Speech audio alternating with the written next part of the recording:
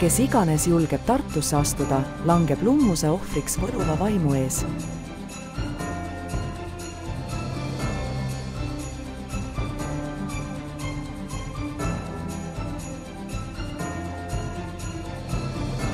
kui tema säravate silmade küüsi langenud, mähitakse külastaja vastupandamatusse maagiasse.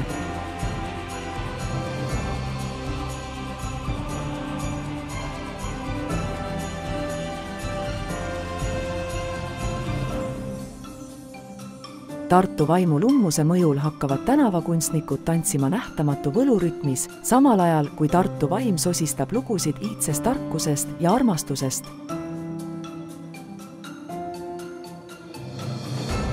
see, kes Tartu vaimu lummuse alla langeb, kogeb igavest sidet linna võlumaailmaga ja soov lahkuda kaob.